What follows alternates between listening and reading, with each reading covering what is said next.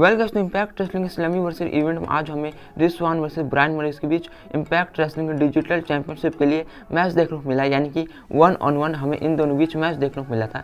इस मैच के बारे में बात करें तो ये मैच काफ़ी इंटरेस्टिंग था। दोनों सुपरस्टार ने ही काफ़ी अच्छा मैच दिया।